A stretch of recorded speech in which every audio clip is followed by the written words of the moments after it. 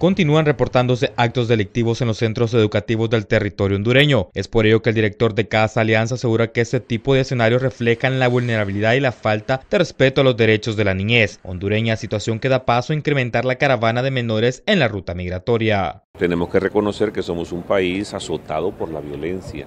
En las últimas semanas, maestras, maestros, niños, adolescentes han sido víctimas de esta violencia descarnada, de esta violencia salvaje eh, que se ha salido de las manos. ¿no?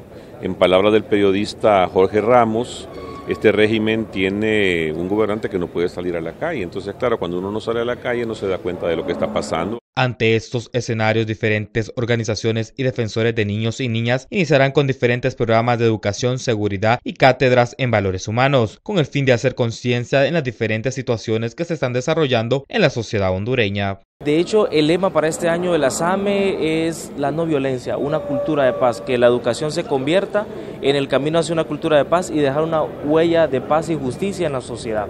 Entonces me parece que nos parece a nosotros como red que este es el momento propicio para trabajar este tema, para construir una sociedad más justa, más segura, más inclusiva a través de los procesos educativos a nivel nacional. Personeros de la Policía Militar del Orden Público continuaron este día con acciones de resguardo en diferentes centros educativos de la capital, entre ellos el Central Vicente Cáceres, institución que continúa sin brindar las actividades pedagógicas. Hemos eh, colocado de manera estratégica a nuestro personal tanto en el sector que colinda con la estación de buses que viene en el Boulevard Fuerzas Armadas, de igual forma también eh, personal ubicado en el sector de la granja y en la parte externa de este instituto, con el propósito de garantizar la seguridad tanto de alumnos, docentes y padres de familia. Ese fue el compromiso que se hizo y pues se está cumpliendo el día de hoy. Por su parte, el mandatario hondureño Juan Orlando Hernández arguye que es impresionante cómo grupos delictivos han penetrado en los centros de estudio, por lo que se buscará una atención especial en situaciones como la que se han dado en los últimos días. Es impresionante cómo las maras han penetrado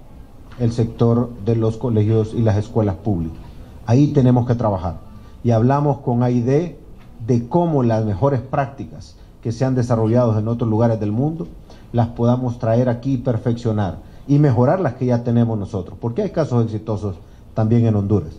Pero venimos de una situación sumamente difícil los últimos 15 años. Defensores de la niñez hondureña continúan repitiendo que no se puede negar la educación, ya que este es un derecho universal. De igual manera es necesario garantizar la seguridad de los mismos, ya que esta es una de las causas por las cuales menores de edad deciden emprender el éxodo migratorio, dando de esa manera a la fuga de cerebros y capital. Desde Notifides le invitamos a fomentar una cultura de paz. Con imagen de Moisés de León les informó Josué Varela.